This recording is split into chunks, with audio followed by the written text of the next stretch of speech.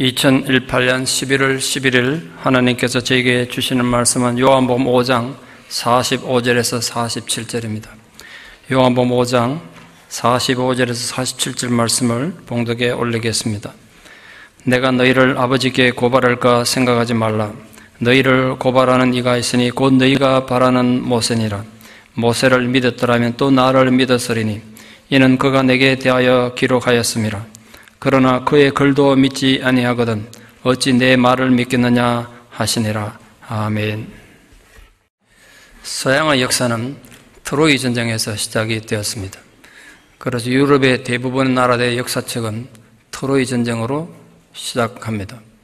트로이 전쟁은 트로이의 왕자였던 페리스가 남의 나라 왕비 이 스파르타 왕비를 헬레나가 굉장히 미녀였나 본데요. 그 회의하러 갔다가 말해가지고 납치해버렸어요. 그 남의 나라 왕비 납치했는데 전쟁이 안 나면 이상하죠. 그래서 그리스 연합군대가 헬레나 찾겠다고 트로이에 쳐들어가서 10년을 싸웠는데 10년 동안 그 성벽이 워낙 견고해서 공략을 못했습니다. 그 그리스 연합군 중에 이케아 왕이었던 오디세우스 제안으로 바닷가에 목마를 하나 만들어 놓고 작전상 후퇴했습니다. 아테네, 그, 트로이 입장에서는 그리스 연합군대가 어느 날 갑자기 사라지고 바닷가에 덩그러니 목마만 남아 있으니까 전쟁에 승리했다고 환호했습니다. 근데 그 목마는 이 그리스 연합 군대가 전쟁의 여신인 아테나에게 바친 제물로 생각했습니다. 근데 그들이 해석하기는 이 목마를 털의 성안으로 가져가야 완전한 승리를 얻을 수 있다고 생각했습니다. 근데 문제는 그 목마가 털의 성문보다 크고 넓었습니다. 그러니까 어떻게 해석했냐면 이 그리스 연합 군대가 자기들이 전쟁에 완전히 승리하지 못하도록 성문 안으로 들어가지 못하도록 좀 크게 만들었다고 파악하고 성문을 뜯어내고 벽을 허물어서 성 안으로 목마를 가져갔습니다. 그리고 위로 왕으로부터 아래 모든 병사들이 이제 전쟁에 승리했다고 10년 전쟁 끝났으니까 얼마나 감개무량했겠어요. 밤이 새도록 술에 빠져서 잔치를 벌였습니다. 트로이 목마는 성전에 분명히 전리품이었고 이 트로이 사람들의 자랑거리였습니다. 그들이 전부 취해 잠들었을 때 그 목만에 들어가 있던 이케아 왕 오디세우스를 비롯해서 다섯 명의 왕이 들어가 있었고 스물다섯 명의 귀족들이 들어가 있었는데 그 30명의 특공대가 몰래 나서 대충 얽어놨으니까 뭐 성문 여는 거 얼마나 쉬웠겠어요. 한번 뜯었던 문이니까.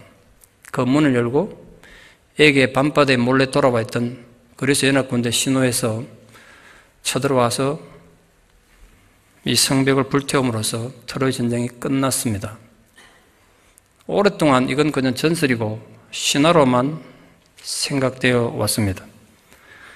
호모의 그냥 문학 작품으로만 생각했는데 1825년에 이 트로이 유적이 발견됨으로써 역사적 전쟁이었던 것이 증명이 되었습니다. 트로이는 지금 특히 최북단, 서북단 에게 연안에 있는 차네칼레주를 말합니다. 트로이 전쟁, 트로이 목마 모르시는 분은 없죠? 오늘 설교 제목이 트로이 목마입니다. 무슨 뜻으로 제가 그래 정했을까요? 오늘 본문에 예수님께서 터로의 목마와 같은 얘기를 하고 계세요. 그래서 제가 이 본문 보고 터로의 목마를 본능적 떠올렸어요. 그 제목을 붙였어요. 오늘 본문은 아주 짧은 내용입니다만 지난 한 달간의 설교의 결론이자 긴 설교 예수님의 결론이세요. 근데 예수님 그 설교의 결론이 유대인들에 대한 모세의 고발장으로 끝을 맺고 있습니다. 모세가 유대인들을 고발하다니 이 유대인들 입장에서는 정말 황당하고 충격적인 얘기가 아닐 수 없죠. 예수가 미쳤구나. 모세가 우리한테 어떤 존재인데 그 모세가 우리를 고발하다니 도저히 이해할 수도 없고 받아들일 수도 없는 그런 내용으로 예수는 설교가 끝을 맺고 있었어요. 유대인들은 모세를 어떻게 생각했냐? 그러니까 유대인들에게 모세는 어떤 존재였느냐? 적어도 세 가지 정도의 중요한 존재 의미가 있었습니다. 첫 번째로 애굽의 노예였던 이스라엘 민족을 탈출시키고 그들 민족의 자유를 얻게 해준 영광의 지도자였고 광야의 보호자였습니다. 둘째는 유대인들에게 목숨보다 소중한 율법을 전해줘서 이 세상에 유대교라는 민족 종교의 출발점이 된 영웅이에요. 가장 중요한 세 번째 이유가 있는데요. 언젠가 그들의 최고 심판대 앞에 하나 앞에 설 거예요. 유대인들과 알았단 말이에요. 자기 인생 끝났을 때 하나님 최고 심판대 앞에 설 때 모세가 변해 줄 거라 생각했어요. 그러니까 한마디로 모세는 이스라엘 역사상 가장 큰 자랑이었고 민족 자부심이었습니다. 그러나 예수님은 유대인의 영웅인 모세가 너희들에게 트로이의 목마 같은 존재가 될 거라고 말씀하셨어요. 역사를 초월하여 유대의 자랑거리인 모세가 유대의 심판을 위한 고발자가 될 거란 거예요. 철석같이 믿고 기대했던 모세가 유대를 망하게 하는 원인이 된다니, 채찍이 되다니, 유대인들에게 엄청난 충격이었을 것입니다. 예수님 왜 이런 폭탄 선언을 하신 것일까요? 예수님도 신앙을 떠나가지고 유대인이지 않습니까? 유대인인 예수님이 모세의 존재를 이렇게 부정한다는 건 민족 정체성을 송두리째 부정하는 거 아닙니까? 예수님이 이렇게 말씀하신 이유는 한마디로 유대인들이 모세에 대해서 심각하게 오해를 하고 있었기 때문에 그렇습니다. 예수님 가르침에 하면 적어도 유대인들은 세 가지 부분에서 모세에 대해서 오해하고 있었고 그것이 유대 멸망의 원인이 됐습니다. 첫 번째로 유대인들은 모세가 율법을 전해준 그 율법의 의미와 왜 그들이 율법을 받았는지 그 이유에 대해서 완전히 오해했어요. 유대인들 이렇게 생각했습니다. 자신들이 모든 민족 가운데 가장 거룩하고 도덕적으로 의로운 민족이어서 하나님께서 많은 민족 중에 자기들 택해가지고 율법을 준 것으로 오해했어요. 자기들이 율법을 가지고 있다는 그 사실만으로도 자신들은 아주 위대한 존재로 생각했습니다. 착각도 그런 착각이 없죠. 하나님 결코 그런 의도로 율법을 주신 적이 없었어요. 그러니까 그들은 율법을 가지고 율법 가운데 살면서도 제대로 삶의 의미를 깨닫지 못했던 것입니다. 그 결과 그들은 율법 속에 살고 율법과 함께 살고 율법과 더불어 살았음에도 불구하고 그들의 삶은 무섭도록 부패하고 악하게 타락해 갔습니다. 마치 현대에 비유하자면 많은 기독교인들이 좋은 설교를 듣고 뭐 요즘 인터넷에 얼마나 많은 설교가 있습니까? 그건 좋은 설교 많이 듣고 성경 공부 많이 하면 자신 아주 도덕적으로 우월한 존재가 된다고 착각하는 것과 똑같습니다. 그 착각이죠. 만약 유대인들이 진정으로 율법의 의미를 이해하고 그 정신을 깨달았다면 예수 그리스도가 그들에게 왔을 때 벗은 발로 달려가서 그분을 환영하고 그분 품에 안겨서 안식을 누렸을 거예요. 그러나 그들은 예수를 거부했을 뿐 아니라 자신들의 손으로 예수 죽이는 것을 무속 시대적 소명으로 생각했습니다. 유대인들은 수천 년에 걸쳐 끊임없이 읽고 암송하고 연구했던 율법의 진정한 의미가 뭔지 몰랐기 때문에요. 그래서 이사야나 말라기 같은 선자들은 이스라엘 백성들은 단 한 번도 하나님을 제대로 믿고 하나님 말씀을 믿고 순종했던 적이 없다고 한탄했습니다. 교회를 다니던 고등학교 2학년 남학생이 있었습니다. 어느 날 교회 누나 집에 놀러 갔다가 뭐 그 당시만 좀 귀한 거인지 모르겠습니다만 누나 방에는 기타를 보고 아 며칠 쓰다가 갖다 줘야지 뭐 그런 생각으로 집에 가져갔습니다. 그러나 그 누나 부모들은 이 평소에 이 친구 행실이 좀 안 좋다고 교회 안에서나 동네에서 소문이 좀 나 있었던 것 같은데 행동이 못마땅하던더라. 그걸 꼬투리 잡아가지고 경찰에 절도적으로 신고해버렸습니다. 이 학생은 원래 교회를 다니던 친구가 아닙니다. 아버지 바람 피우고 술주정으로 집에서 맨날 행파 부리다가 자기들 버리고 그래 가서 죽어버리고 홀로머니 밑에 사남매 가지고 힘겹게 힘겹게 살고 있던 그런 아이였습니다. 이 동네 목사님 보니까 애가 불쌍하잖아요. 그래서 애를 타이르고 위로해 주니까 그 목사님 사랑에 의해서 교회를 나오게 된 겁니다. 그 재판 받으러 갈 때 목사님께서 조그마한 나무 십자가를 주셨어요. 그걸 호주머니에 넣고 만지작거리면서 하나님 나와 함께 하시니까 목사님이 이렇게 나를 사랑해 주시니까 분명히 무죄가 선고될 걸로 기대했습니다. 그러나 그날 이 학생은 기타를 훔쳤다는 제목으로 징역 10개월의 선고를 받고 법정은 구속됐습니다. 그 순간 그는 그 자리에서 호주머니에 있던 나무 십자가를 부러뜨리면서 하나님도 있는 놈들 편이구나. 그렇게 생각했습니다. 그리고 나는 앞으로 철저히 기독교를 부서뜨리고 예수를 구하는 데 그런 데 의미를 두고 살 것이다. 반기독교적 인간이 되면서 세상에 복수할 것을 다짐했습니다.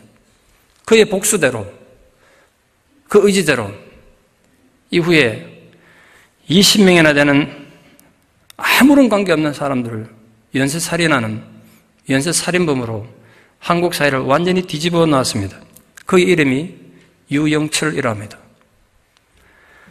연쇄살인의 대상이 됐던 부유에 있던 대부분 사람들이 교회 근처 살았던 건 우연이 아니라 그때 복수심의 결과로 제가 보입니다. 이 사건에서 저는 양쪽 모두의 잘못된 자세를 봅니다. 말씀에 대한 잘못된 해석.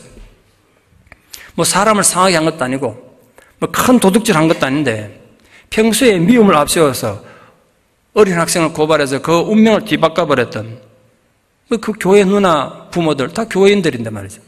그 교회인들의 옹졸함이 우리 시대 최고의 연쇄살인마를 잉태한 원인이 됐다고요. 유영철 또한 자기 개인의 불행을 하나님에 대한 분노로 왜곡시켜서 씻을 수 없는 범죄자가 됐어요. 어느 한쪽이라도 진정으로 하나님 주신 말씀에 대한 이해가 있었다면 그 끔찍한 비극은 막을 수 있었지 않겠습니까? 율법에 대한 유대인들의 오해도 마찬가지였습니다. 모세가 그들을 고발한다는 건 결국 모세 율법이 그들을 고발하는 것이죠. 유대인들은 모세 율법이 바로 하나님 말씀이라 철저히 믿고 있었습니다. 유대인들의 큰 자부심이었고 자랑이었으며 영광의 멸관처럼 생각했던 그 율법이 그들을 고발할 것입니다. 그러니까 일 역사상 가장 아이러니컬하게도 유대인들이 그토록 믿고 따르던 모세가 유대의 고발자가 되고 유대인들의 가장 큰 특권이 되었던 율법이 그들의 가장 큰 정죄와 심판의 근거가 된 틀의 목마 같은 존재가 된 것입니다. 율법의 정신을 무시하고 철저히 왜곡했기 때문입니다. 유대인들이 율법을 받은 건 정말 놀라운 특권이고 축복이 분명해요. 그러나 하나님 은혜를 많이 받은 받을수록 하나님부터 특권을 많이 받은 받을수록 거긴 반드시 책임이 따르는 법이에요. 주어진 특권이 컸던 만큼 정제도 더 큰 것입니다. 지금도 마찬가지입니다. 우리들이 복음에 대해서 더 많이 듣고 더 많이 알았다면 여러분이 만약 남들보다 내가 성경에 대한 더 많은 지식을 갖고 있다고 생각하신다고 자부심을 갖고 있다면 더 많은 책임이 있다는 거 아십니까? 그러면 나중에 더 많은 정죄도 받을 수 있다는 거 아십니까? 유대인들은 모세가 전해준 율법의 의미를 끝내 제대로 깨닫지 못했던 것. 이게 그들의 첫 번째 오해였습니다. 두 번째로 유대인들은 모세가 행한 사역에 대해서도 오해했습니다. 모세가 행한 많은 사역들 있지 않습니까? 그 수많은 기적들. 그 의미를 전혀 이해 못했어요. 그 결과 그들 조상의 출애굽 1세대, 1세대들이 왜 모두 광야에서 죽었는지 이해를 못했어요. 그래서 이제 자신들도 축복의 장소에서 모두 죽임을 당한 그들 조상들과 같은 신세가 된 겁니다. 모세의 사역은, 그 모세의 그 기적은 그들에 대한 무조건적인 변호와 축복이 아니라 삶에 대한 선택의 기준을 준 거예요. 그게 결론이란 말이에요. 모세오경의 결론. 신명기, 모세오경의 마지막 책 신명기 결론이란 말이에요. 너희들 이런 과정을 통해서 율법도 받았고 하나님 백성 살았다. 그러므로 이제부터 선택하라. 축복이냐, 저주냐, 생명이냐, 사망이냐. 선택의 핵심을 주신 거예요. 모세는 심지어 율법의 기준이 되는 레위기가 그 레위기대로 살아가는 율법을 어떻게 실천하며 살 것인가를 기록했던 설명한 그 신명기에서 너희들이 이렇게 하나님 율법을 가진 복을 누렸는데 그 율법을 제대로 지키지 않으면 부모가 자식을 잡아먹는 비참한 지경에 이를 거리라는 충격적인 경고까지 했습니다. 그 실제로 그런 비극이 그들 역사에 일어났습니다. 그럼에도 불구하고 어느 누구도 그 경고에 전혀 귀를 기울이지 않고 있었습니다. 예수님 그걸 비판하신 거예요. 예수님의 선언에 따라서 이제 모세의 그 위대한 사역과 위대한 업적들이 유대인을 향한 고발장이 될 것입니다. 모세가 일으켰던 그 놀라운 기적과 위대한 업적은 이 유대인들에게 찬란히 빛나는 영광스러운 트로이 목마였던 것입니다. 그토록 영광스러운 모세의 업적이 그들을 파멸시키는 고발장이 될 줄이야 상상이나 했겠습니까? 구체적으로 모세가 유대인들을 고소한다는 건 무슨 뜻이겠습니까? 모세가 직접 범죄인 취조하는 경찰처럼 또는 법정의 검사가 되어가지고 그들의 죄를 하나하나 들추어내는 그런 검사 역할을 한다는 뜻입니까? 그건 물론 아닐 것입니다. 결국 그들이 믿었던 율법이 그들을 구원하는데 아무런 도움이 안 됐다는 뜻이에요. 오히려 그 율법이 그들의 정죄의 근거가 될 것입니다. 성경에는 분명히 최고 심판이 있다는 것을 수없이 경고하고 있습니다. 누구나 나중에 다 닥칠 겁니다. 근데 그 최후 심판 때 의지할 것이 없는 사람 정말 비참하고 불행한 존재예요. 뭐 살다가 사업이 망하고 뭐 몸이 병들고 일찍 세상을 떠는 이런 불행함을 비교도 할 수 없는 불행이 유대인들의 최후 심판 앞에 기다리고 있을 거예요. 그걸 지금 예수님께서 모세의 고소를 통해서 말씀하신 거예요. 세 번째로 유대인들은 메시아에 대한 궁극적으로 예수 그리스도에 대한 모세의 기록도 오해했습니다. 그들은 율법에 가지고 그 율법을 순종하고 실천하는 신앙 고백으로 받아들인 것이 아니라 자신들의 우월성을 드러내는 교만의 도구로만 사용했어요. 그래서 예수님은 너희들이 모세의 글, 즉 율법도 믿지 않았으니까 너희들 입장에서 모세보다 못하다고 생각하는 나의 말, 즉 예수님의 복음은 더욱 무시했고 그 책임은 너희들이 져야 한다고 판결을 내리신 것입니다. 마치 법정에서 재판장이 최후 판결을 선언하듯이 유대인들에 대한 예수님의 심판을 오늘 선언하신 거예요. 모세가 쓴 모세 오경에는 메시아에 대한 수많은 예언들이 기록되어 있습니다.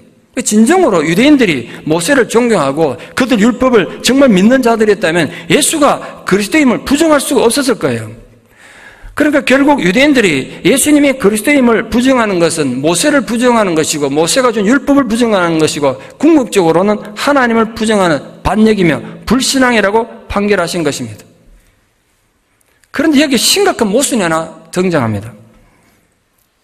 유대인이면서 유대인들의 메시아로 오신 예수님이 유대인들을 그렇게 심판하고 경고한 목적이 뭐냐? 모세가 유대인들을 고발할 것이라는 이 무서운 심판을 경고한 목적이 뭐고 이유가 뭘까요? 예수님께서 유대인들이 얄미워가지고 내가 하나님인데 메시아인데 와가 나를 몰라줘? 이 괘씸한 것들 이래가지고 유대인들 다 죽여서 그냥 지옥 보내기 위해서 이런 심판을 하셨습니까? 여러분 지옥은 누가 만들었습니까?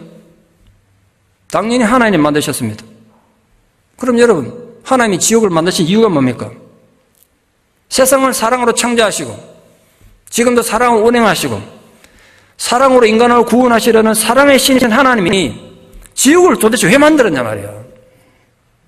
이게 제게 아주 오래된 숙제였어요.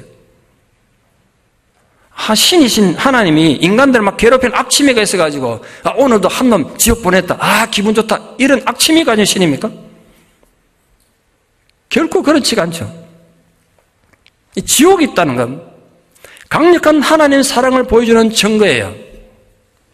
여러분, 지옥이 없다면 인간들 어떻게 살겠습니까? 지옥이 없는 최고 심판이 무슨 소용이 있고 무슨 의미가 있겠어요? 세상에서 어떻게 살았던 모두가 천당 가고 아예 지옥이 존재하지 않는다면 힘들게 예수 믿을 필요가 어디 있습니까? 예수 믿을 필요 없어요. 예수를 믿는다고 해도 희생하고 헌신하고 참고 고생할 이유가 없어요. 그저 편한 대로 믿고 내 마음대로 살면 돼요. 지옥이 없는데 뭐. 뭐 그런 이단들 많잖아요. 지옥 없는 심판은 무의미한 거예요. 그래서 성경에 지옥에 대한 기록이 굉장히 많아요. 아직 묘사도 많지만 가장 구체적으로 지옥에 대해서 설명하신 분은 예수님이세요. 지옥을 부정하는 인간들은 도대체 성경을 한 번에 읽어봤는지 내가 묻고 싶어요. 예수님이 지옥에 얼마나 정확하게 가르쳐 주셨는데. 부자와 나사로 비유해서 꺼지지 않는 불구덩이에서 영원히 고통받는 게 지옥이고 손가락 끝에 물 한 방울의 자비도 허락되지 않는 끔찍한 곳으로 예수님이 직접 설명하셨어요. 유대인들은 하나님을 믿는 자들이었습니다. 하나님이 사랑의 하나님이시면서 심판하시는 하나님 것도 믿었단 말이에요. 그들은 분명히 지옥도 믿었고 하나님 최고 심판도 믿었지만 그래도 그들은 나름대로 믿는 구석에 있었습니다. 그들에게는 모세가 있었거든요. 모세가 믿는 구석이었어요. 아무리 그들이 죄를 지어도 그들은 율법을 받은 백성이므로 모세가 최후의 그들의 변호사가 되어서 그들의 죄를 용서해 줄 것이고 보호해 줄 거기 때문에 아무리 인생을 막 살고 함부로 살아도 적어도 유대인인 우리들은 지옥은 가지 않을 것이다. 그렇게 믿고 있었단 말이에요. 일종의 보험에 든 거죠. 유대인들이 착각을 완전히 깨뜨리고 부수기 위해서 예수님은 모세를 유대인들의 고발자로 내세운 것입니다. 이 심각한 심판의 선언과 모세를 통한 고발장은 인간 구원을 위한 예수님의 열정을 보여주세요. 한 영혼이라도 잃어버리고 싶지 않은 예수님의 간절함이 유대인에 대한 무슨 심판으로 나타난 거예요. 제 말이 모순되게 들립니까? 이런 겁니다. 지금 유대인들을 그들의 종교 가운데, 그들의 신앙생활 가운데 그대로 두면 아무도 구원받을 수 없어요. 아무도 구원 못 받는다고. 때문에 그들을 구원하기 위해서는 하나님에 대한 그들의 잘못된 믿음, 잘못된 구원관, 그들의 잘못된 천국과 지옥에 대한 개념을 완전히 부수고 깨뜨리셔야 하셨어요. 그래서 예수님은 너희들은 눈이 있어도 보지 못하며 귀가 있어도 듣지 못하는 영적 불구자며 독사의 자식들이다. 바깥 어두운 데 쫓겨나 슬피 울며 이를 갈게 되는 비참한 최후가 너희 앞에 기다리고 있다고 잔인한 저주를 선포하신 것입니다. 그런 잔인한 저주를 선포하신 것은 바로 유대인들을 살리기 위한 예수님 사랑의 호소였단 말이에요. 그렇게 해서라도 그들을 돌이키기 원하셨어요. 예수님이 표면적으로 아주 비판적으로 공격적인 거로 보이지만 예수님 목표는 오직 하나였어요. 제가 지난 한 달 동안 예수님의 심각한 저주에 대해서 경고에 대해서 십자가에 대해서 설교했는데 혹시 오해한 분 있을까 봐 제가 결론을 말씀드립니다. 예수님 이 땅에 오신 유일한 목적은 하나예요. 사람 정죄가 지옥 보내는 게 목적이 아니었단 말이에요. 인간 구원이 목적이었어요. 인간 구원이 목적이었다고. 지난 한 달간 말씀드린 예수님 결론도 마찬가지예요. 그러니까 오늘 우리는 이 본문을 통해서 예수님이 애타는 마음을 읽을 수 있어야 해요. 그를 통해서 인간 구원에 대한 하나님 참된 사랑을 발견하고 이해하는 계기가 되기를 바랍니다. 올바른 구원관을 가진다는 것은 참된 신앙생활과 구원과 영생에 이르기 위해서 절대적으로 필요한 것이기 때문에 그렇습니다. 데릴 데이비스는 매스추세츠주 출신의 흑인입니다. 아버지가 외교관이어서 태어나면서부터 전 세계 여러 나라를 돌아다니다가 10살 때 미국으로 귀국했습니다. 학교 갔더니 그 많은 학생들 중에 흑인이 자기 딱 혼자였습니다. 어떻게 사신지 이해되시죠? 왕따가 당하지 않고 친구를 사귀고 싶어서 보이스카우트 해보고 했지만 인종차별을 심하게 겪었습니다. 집에 가서 부모님께 말도 못하고 아마 속이 깊었던 것 같아요. 자기 말하면 부모님 아파할까봐 학대당하면서도 말을 못했대요. 그러면서 너무 궁금했대요. 왜 인간이 피부색만 갖고 이렇게 차별을 학대하는지 이해할 수 없었습니다. 친구도 없고 왕따가 됐으니까 외로우니까 그 외로움을 극복하고 혼자서 할 수 있는 걸 찾다 보니까 피아노에 심취하게 됐어요. 결국 커서 블루스 피아니스트가 됐습니다. 블루스 피아니스트 아십니까? 블루스로 피아노를 치는 겁니다. 대리리 25 되던 어느 날 연주회를 마쳤는데 난생 처음 본 백인이 얘기를 좀 할 수 있냐고 찾아봤어요. 대리도 어릴 때 상처가 있으니까 백인들 같으면 거부 반응이 생기고 두려움을 갖고 있죠. 천문의 산에 찾아왔으니까 걱정이 됐습니다. 또 무슨 해코지하려고 왔는가. 대화를 나눴는데 이 백인이 뜻밖의 얘기를 했어요. 이렇게 말했습니다. 나는 이 도시의 케케케단 지도자입니다. 이 지역의 케케케단 책임자라는 거예요. 그는 평생 흑인들을 박해하는 데 앞장서 왔고 흑인들은 어리석은 존재라고 무시하며 살아왔습니다. 근데 오늘 당신의 연주를 보고 흑인에 대한 내 고정관념이 깨졌습니다. 미안합니다. 저를 용서하십시오. 이렇게 얘기했어요. 대릴도 그의 얘기를 들으면서 굉장히 놀랐습니다. 대릴 역시 케케케단에 대해서 아주 선입견을 갖고 있었거든요. 케케케단 같은 인간들 악마의 자식이고 상대할 가치가 없는 인간들이고 미워해왔는데 대화를 해보니까 아, 케케케단도 나와 같은 인간이구나. 대화가 되는구나. 그걸 그날 느꼈어요.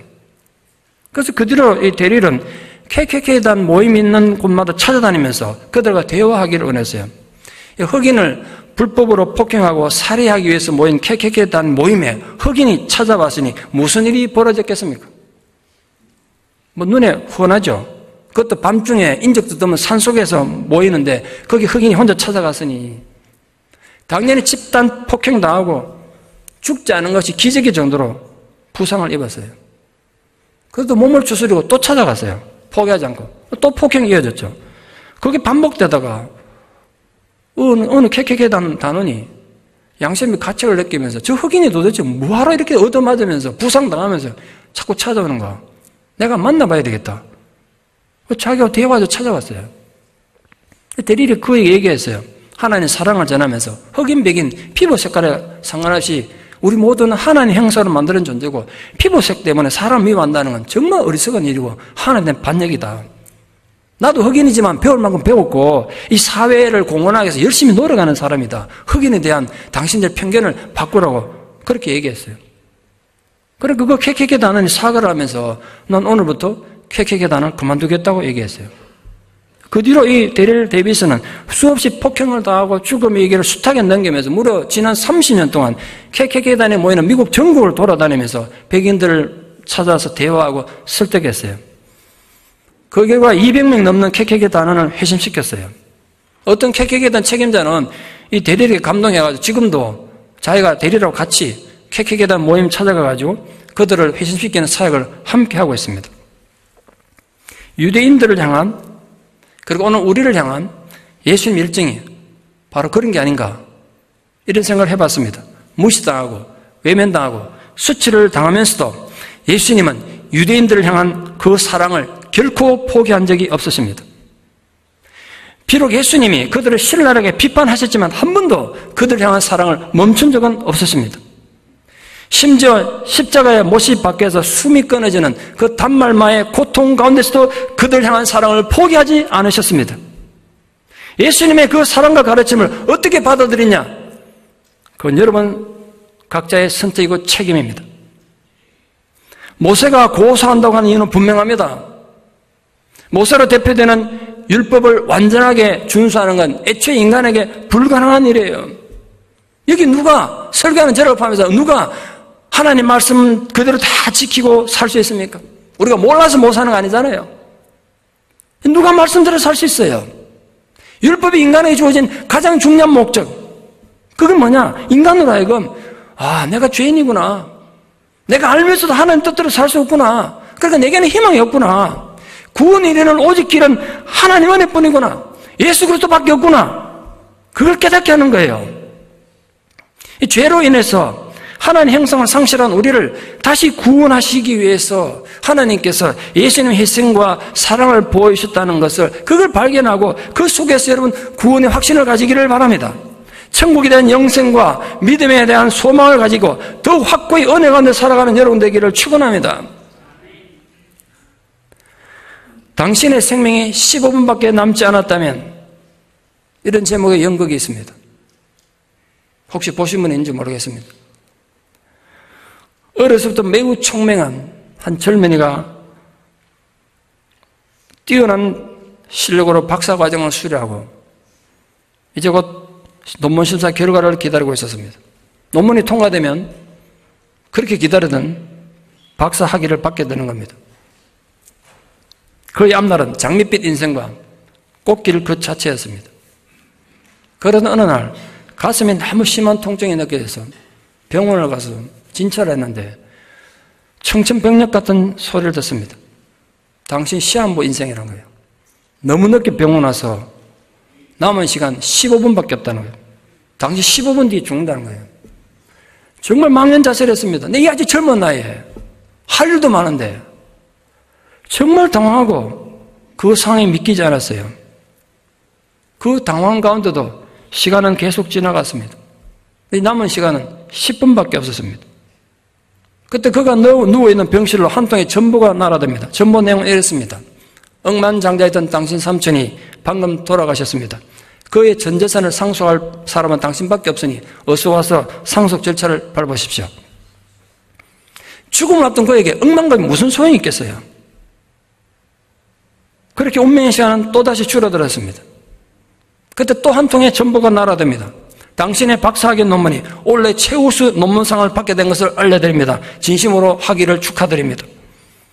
죽음을 눈앞에 둔 그에게 박사학위 무슨 소용이 있어요? 아무런 위안이 되지 않았어요. 더 큰 절망을, 고통을 느끼게 됐어요. 더 큰 절망에 있는 그에게 또 한 통의 전보가 날아왔습니다. 그토록 애타게 기다리던 여인으로부터 내가 당신과 결혼하겠습니다. 결혼 성낙 전보였어요. 하지만 그 사랑의 전보도 그의 시계를 멈추게 할 수는 없었습니다. 마침내 15분이 다 지나고 그는 숨을 거두었습니다. 물론 어디까지 연극입니다만 우리에게 시사하는 바가 아주 크죠. 이 청년뿐 아니라 여기 있는 우리 모두의 삶이 그렇게 갈 거예요. 우리 모두가 내 의지와 관계없이 우리 삶이 그렇게 끝날 거예요. 인생이라는 시계는 우리가 계획한 대로 되는 게 아니라 내 의지와 관계없이 그냥 휙 지나가는 거잖아요. 내가 100세까지 살리라 예정해놓고 계획 짰는다고 그렇게 사는 거냐 말이에요. 아니라고요. 내 뜻대로 되는 거 아니에요. 오늘도 주님 오늘 가야 돼요. 뒤늦게 후회한들 무슨 있겠습니까? 시간은 강물과 같아서 막을 수도 없고 되돌릴 수도 없습니다. 그러나 중요한 사실 하나. 어떻게 흘러보내느냐에 따라서 인생의 가치와 질이 달라질 수 있습니다. 신앙이 중요한 이유는 바로 똑같은 인생의 시간이라도 가치와 의미를 달리하기 때문입니다. 우리는 이 땅에만 의미를 두고 사는 존재들이 아닙니다. 죽은 뒤에 저 영원한 삶을 믿으며 사는 자들입니다. 그렇다면 우리는 어떻게 신앙해야 하고 어떻게 살아야 하겠습니까? 예수님께서 전해준 그 애타는 음성에 귀를 기울여야 하지 않겠습니까? 예수님이 우리에게 전해준 복음에 우리 인생의 가치와 의미를 두고 나의 것으로 굳게 붙잡아야 하지 않겠습니까? 예수님이 전해준 복음의 의미가 무엇입니까? 하나님은 타락한 죄인이며 도대체 은혜라고는 모르는 파렴치한 연쇄살인범 같은 우리를 양자와 양녀로 삼으시고 천국의 모든 영광을 유산으로 주시기 위해서 독생자이신 예수 그리스도를 십자가에 못 박게 죽게 하신 것입니다. 예수 그리스도의 그 십자가 사건은 하나님 아버지께서 친히 고통당하시고 이러신 전무후무한 최고의 사랑의 사건입니다. 그 사랑 앞에서 우리는 어떻게 살아야 합니까? 여러분이 만약 나는 성경이 지시하는 대로 말씀대로 다 살 수 있다. 예수님처럼 살 수 있다. 그래서 내가 이렇게 살려주고도 죽음 이후에 나의 미래는 걱정이 없다. 뭐 그러면 계신다면 그렇게 생각하신다면 계속 그렇게 사십시오. 그러나 한 가지 분명히 잊지 말고 알아야 될 사실이 하나 있습니다. 예수님조차도 예수님 혼자 생각과 혼자 뜻으로 세상을 사신 게 아니었어요. 예수님 고백에 따르면 예수님 이 지상에 사는 동안 매 순간 하나님 뜻을 따라 사셨습니다. 하나님 주시는 힘으로 사셨단 말이에요. 그럼 우리는 어떻게 살 거냐 말이에요. 만약 여러분이 말씀을 읽다가 또는 설교를 듣다가 아 그렇구나 나는 도저히 말씀대로 살 자신이 없구나 내가 그런 존재가 아니구나 하나님의 교훈과 경고의 말씀대로 살아갈 힘이 애초에 내게는 없구나 나는 어떻게 해야 되는가 만약 그런 생각이 드신다면 오직 주님께서 내 삶을 인도하도록 여러분 삶을 맡기시기를 바랍니다 여러분에게는 트로의 목마 같은 존재는 혹시 없습니까? 내가 어떻게 살아도 내 삶을 변해주고 내가 무슨 악한 짓을 해도 구원을 보장해주는 현대판 토로의 목마를 어리석게 자랑하며 살고 있지는 않습니까? 부디 나의 영광과 나의 업적과 나의 자랑이 여러분 인생의 털의 목마가 되지 않도록 주의하십시오. 주님께서 진짜 나의 보호자가 되고 인도자가 되고 변호자가 되어 주시기를 기도하십시오. 주님의 애타는 말씀을 들으며 영원한 천국의 약속이 나에게 주어져 있음을 믿으십시오. 온전히 그 주님의 사랑에만 의지해서 겸손하게 내게 주어진 마지막 생명까지 성실하게 순종하며 사는 하나님 자녀들 되시기를 진심으로 축원합니다. 기도드리겠습니다. 하나님, 인간의 생명이 유한하고 지금이라도 부르면 가야 될 인생들이 마치 영혼을 살 것처럼 착각하며 살았습니다. 하나님 없이도 세상을 잘 살 수 있는 줄 알았습니다.